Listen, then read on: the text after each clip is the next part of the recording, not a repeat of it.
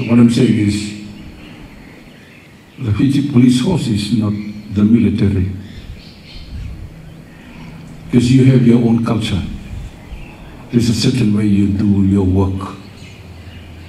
It's been a long time coming that police commissioners have been, you know, members of the service that I formerly belonged to.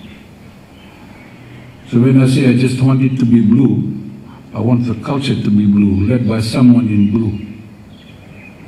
And this is important as we go forward, as we try and shred ourselves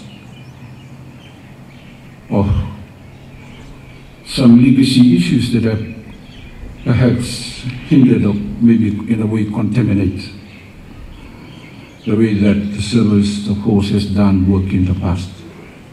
It's not entirely the horse's fault because much of this really has been imposed upon the horse by the political masters back then. But we want to do that right. We want to do that right. So we want a police force that is led by police officers from Fiji. And that is going to be the standard that we want to set. So when we say police force that is blue, it means a police force that is traditionally the police force of Fiji, as it goes, you know, a long way back in understanding its culture. And also, second to that, I have asked the police commissioner to reinvigorate the, the motto of the Fiji Police Force, which is Salus Populi, that your work, professional work, as the police, and that is to be of service to the public, and to be of service to the people. And under that pretext, that your allegiance must be to the law and to the law alone.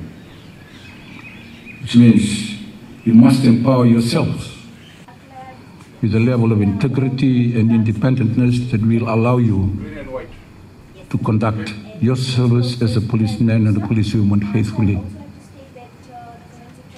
But I know that there are certain traditions that you have to hold.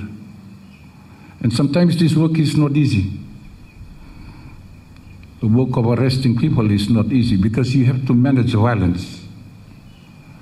But there is a certain degree of violence that is allowable under the law when you try to exceed that, obviously you, be, you come under public scrutiny and criticism.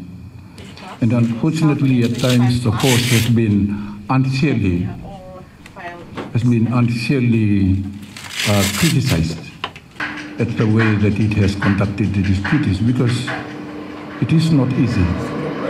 But I must ask all of you, now that the senior officers are here, particularly members of the PSRU, uh, uh, you know, a particular of the police force that is unique in the way that it carries out its duty, to always exercise restraint and constraint in the way that you perform your role.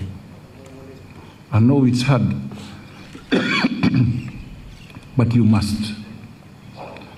Because to overstep that mark not only damages the reputation of the host, but puts your work at risk and the work and the life and the livelihood of your families, and you do not want that.